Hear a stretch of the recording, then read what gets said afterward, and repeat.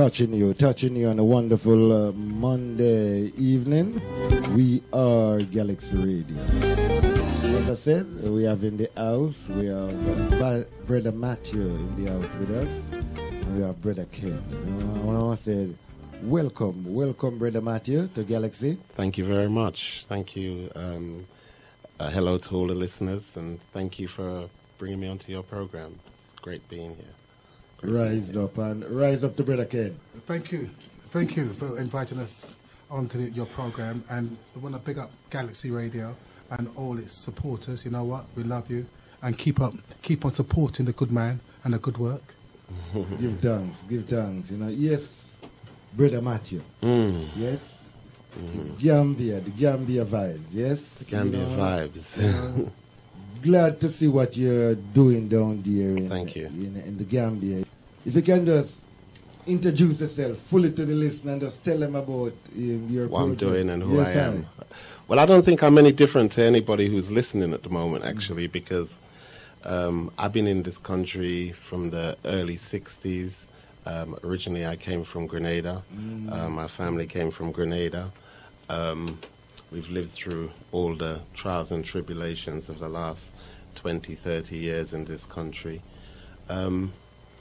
Luckily, you know, God always helps me for some reason. My mother says I'm a creator, so anything I do, I try and create, and try and make it work, kind of a situation. But um, a few years back in 2005, um, I needed a holiday. I was working too much. Mm-hmm. So my partner at the time said, um, oh, you need to have a break, you need to have a break. You know, da, da, da. I said, all right, all right, all right. Just find somewhere, somewhere in Africa. It must be not Tunisia, you know, it has to be Africa, you know. So anyway, um, we found Gambia, and you know, I kind of a half promised that I wouldn't look at properties or anything like that. So I had a friend at the time who was um, doing a project, giving out stuff in for schools and fundraising and Hearts to Africa. Oh yes. Hearts yes. to Africa. Yeah. yeah. Mm-hmm. So for the first for the first week or so, I went around with them giving out books and um, other materials to schools, which was great because I'm seeing now for first hand mm-hmm. how the villages are, who the people are, how things are. And it was nice. It was kind of rewarding. I like Gambia because it reminded me of the Caribbean you know, insofar as it's not too big, it's not Nigeria, it's not Senegal, it's not any of those places. you know, it was it was almost like going back to the countryside. You know, mm. I like that, but I I also saw lots of other resemblance in terms of people selling on the beach and the way they're having to walk that hot sand every day with their wares, trying to sell to tourists that you know weren't paying them any mind and so on. So it kind of, uh, I felt it. I felt, mm. I felt the country. I felt the struggle that the people were having.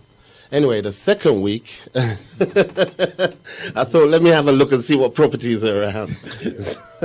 so um, I, I kind of uh, went around for a few days, and someone local told me about this resort that was actually in the center of everything, but it had been closed for a few years. This resort was um, a resort called Sambus. Mm-hmm. It was um, it was started by a, an African man some time ago, and I think in the first recession back in the 80s, 90s, he lost it, mm-hmm. and it was bought by an Indian man for his son because it was a beautiful place, and he said that he, you know, he's buying it for his son, but his health deteriorated, mm. so um, he put it up for sale and it was just happened to be at the time when I was there. So I oh, thought. so I, I just fell in love with it. The place was beautiful. You know, you walk off the main road. It's on a corner, so on one mm. one side of it you've got a road going down to the beach, and on the other side you've got the main road. Mm. So um, you walk off the main road, you walk through the gates. These big pine trees and mango trees and mm. pathways and mm. everything just seemed just totally tranquil thought this is fantastic. Mm. And for the price, I, I, bought it for a reasonable amount mm. of money. But at the same time, I, I felt that the things that I wanted to do, I couldn't do those things in the Caribbean. As much as I loved the Caribbean, I knew that I wouldn't be able to do the type of things I wanted to do in the Caribbean. Mm. And this gave me an opportunity to do it. You know, it's a winter holiday destination. You know, people go there during the off season. Um, it's just, the climate is exactly the same as the Caribbean. We have the same rainy season. We have the same time zone. We have the same everything. So you know, it wasn't it wasn't difficult to like it, and um, so I bought it. I bought it the second week I was there, and um, the barrister who who did the transaction, he came to London, and um, we had never met. We'd only spoken on the phone. When he came to London, we met in a hotel in Edgware Road, and I could see him coming through the door, and I was sitting in the in the reception bar waiting. He walked past me. He looked around. He's walking up and down, looking around. so I stopped him and I said, "Sheriff, you're looking for me?" So he says, "You." He couldn't believe that he was a black person Oh. Because he says these things don't happen. He says these these things only happen with white people. I says, well, you know why? he says that's how it's always been. He's never ever had a transaction that size with a black person. So I said, no, hey, come on, you know. We're living in the 21st century, and it's time for us to do the things we want to do. And that's how it's that's that's how it came about. That's basically how it came about. And it's um, the ideas them that you're putting in it, you know. Well, one of the things that you know that kind of struck me when I went to Gambia is that, first of all, most of the most of the things in Gambia are owned by either Indians or Lebanese or people like that, and you know, they they don't see Africa like how I see Africa. Mm. You know, I you you go into a hotel room in Africa, you want to feel like you're in Africa. You don't want to feel like you're in Spain or you're on the Riviera or you're in London. You know, so and the project that I've I've undertaken is a big project because it's a large, very large resort. You know, um, and you know I'm like you. I'm like anybody in London. I'm just getting by. You know, I, I have some property here, and so from some of the income from the property, I managed to filter some of it into doing the project over there. But I had to think of a way of doing it where I didn't have to spend a vast amount of money on concrete and steel and do it in that kind of a way. So I searched in it and searched in it, and I came up with um, with um, doing it with with compressed earth blocks or Dorby blocks. Now these these blocks are made from waste from the roads, from the quarries, and so on. Um, the waste combined, it's like cooking a soup. Yeah. You know, if you're cooking a broth, you're cooking a broth. If you're cooking a chicken soup, it's a chicken soup. Mm-hmm. If you're making blocks, you're making blocks. Mm. And the ingredients that go into that soup, we produce beautiful quality Yeah, blocks yeah, I've seen them. I've seen them. beautiful mm. quality blocks, and they they remind me, I suppose, of bricks that you see on English buildings. Mm-hmm. One, it's for me, it became much more economical to do it like that. So what I did is that I found a machine that I was happy with. I got it from India. I went to India. Yeah, as you were saying. I did a course. I did a course in India on how to make the blocks and also how to build, how to build using it. So now we build vaulted ceilings. We do Dome, we, we do dome, domes. Yeah, I've just done my first big dome. Oh, my first big dome. I mean, when I was on the course, I made a very small dome, but the theory on making domes and making arches is fairly consistent. It's mm-hmm. they've been doing it from time and you know they've been doing it from time. Mm-hmm. You know, the Egyptians did it. Many other people did it with similar materials. Even the English did it. You know, mm-hmm. using similar materials. But you know, in this modern age, they try and convince you unless you're buying a bag of cement and you're doing this and you're doing that, you can't be doing it. You can be doing it. There are lots of different ways to build. But at the same time, we build in a very, very constructive way. It's not, we're not just building it from materials that's going to be gone Really? and No wasting tomorrow. No, no, no, no. Oh. We, we, we work properly. We've just finished on the beach road, we just finished nine shops. Um, nine nice looking shops. Well, I'm, I'm into the nice looking. yeah, but naturally nice looking, not nice looking because it's so glitzy. I believe in mixing it a little bit. So it's a little bit of bling, but a lot of natural, and you put it all together, and then you got you get get you know you get good results. Really? So we finished the nine shops, and we've um, we've we've got three left to rent. So that's helped us in terms of some income. Um, we've we're on the inside now. Um, we finished the dome that you saw. We just finished that earlier on in the year. Let me tell you about building that dome.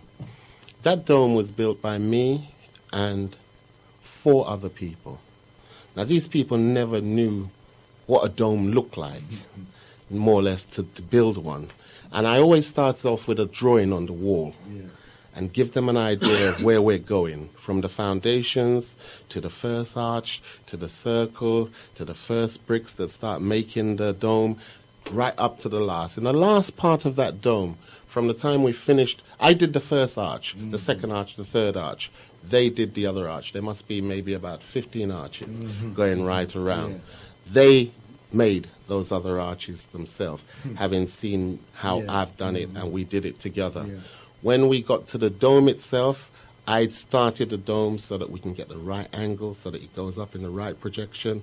We did. I did maybe the first meter and a half, and then I left the country. They built the rest themselves. Two people, one laborer, and one builder, one masoner.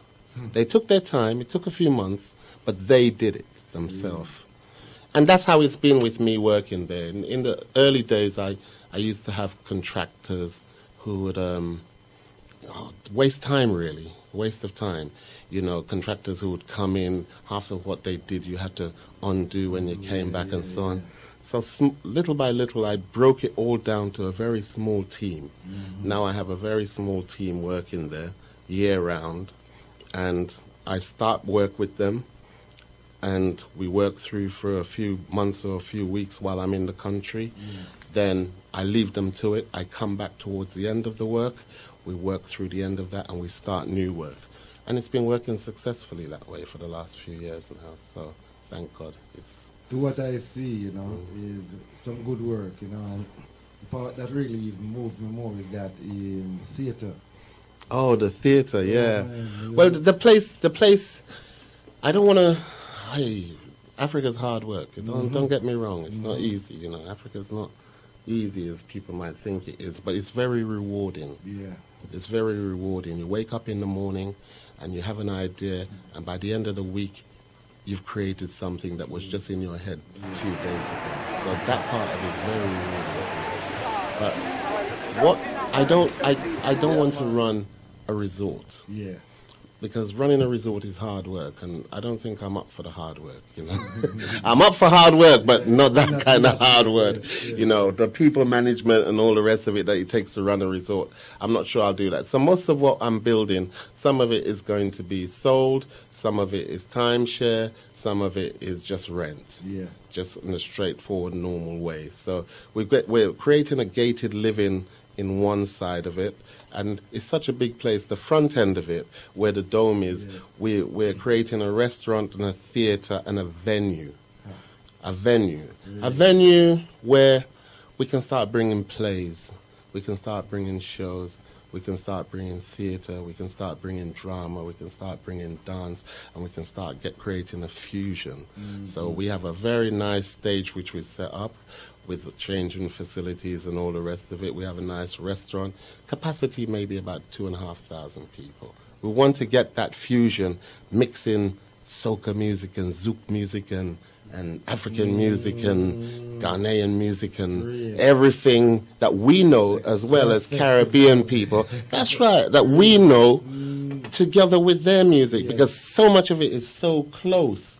And the drama and the dance. I mean, talking about it just just makes me want to just finish things quick, quick, quick. but we're trying to do it correct. We, we want to have proper production, uh, proper lights, proper shows, proper management. And as we're going along, we'll bring people in, just as we brought people in to learn how to use the blocks and to build. We'll also bring people in to stage manage, to production, to do all the things that are necessary so that I can sit back, put my foot up, and enjoy the show without without the drama. You know, that's that's my ambition. Hey, go on the girl. Good dance. Beat it out, beat it out. Yeah, yeah. Ken was there. Right, right, Ken. Oh, yeah. Was I Your, there? your first time in Africa? My first time in West Africa. Ah, What an experience. You know, I, I can say this. I went out as a West Indian and I came back an African.